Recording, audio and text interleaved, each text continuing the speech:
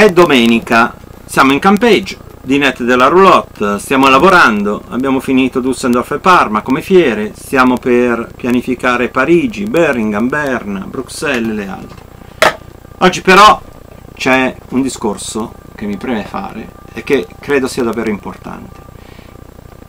Un è un tema che ha un nome, un oggetto, che è la dignità. Dignità significa che quando si apre un gruppo su Facebook, per esempio, e ci si rivolge a degli italiani, non si scrive gruppo scrivendo GRUP, perché allora se tu sei italiano e ti rivolgi agli italiani, presumo che avessi voluto scrivere gruppo.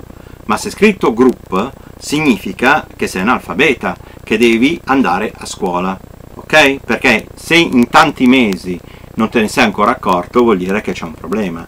Oppure, altra cosa, vuol dire che vuole scrivere gruppo in inglese, group, e questo perché? Perché quando uno deve, è italiano, deve rivolgersi agli italiani, deve usare la terminologia in inglese? Perché si sente più figo? Perché si sente più bello? Perché si sente più in? Perché se uno si deve, senti- deve utilizzare qualcosa che viene dall'esterno di se stesso per sentirsi qualcosa in più, vuol dire che dentro sa di avere qualcosa in meno. Cioè, è, è un problema importante questo qui, e bisogna rifletterci sopra. Per esempio noi di Newscamp abbiamo un, un, gruppo che si chiama Newscamp Friends, è vero, Friends è amici, ma in inglese, questo è verissimo, ma è tanto vero che non si rivolge solo agli italiani, avendo un pubblico che arriva da più nazioni, allora è stata scelta una lingua internazionale in maniera tale da non far torta a nessuno e farsi capire da tutti. Ma un altro discorso, è come quello che fa il gruppo con over 20 years. Allora, intanto gli inglesi non scrivono né in British né in American English, e qui posso dare lezioni, eh, scrivono over 20 years, ma scrivono in un altro modo. Ma poi la cosa è, eh, che problema c'è?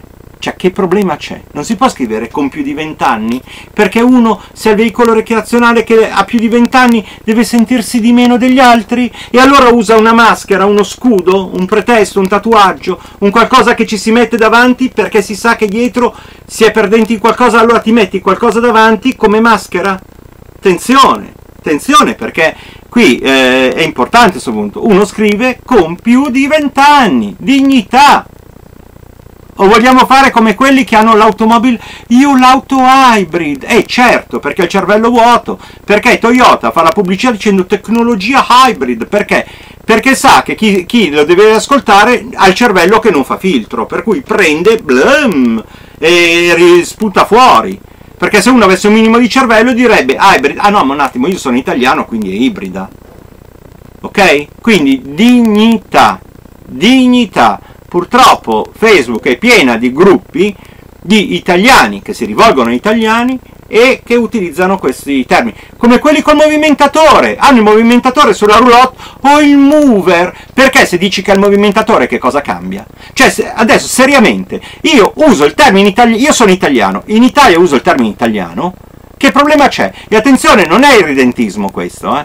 perché io, io posso dare lezioni sia di British English che di American English. Posso spiegarvi benissimo la differenza tra cookies e biscuits, train station, railway station, and so on.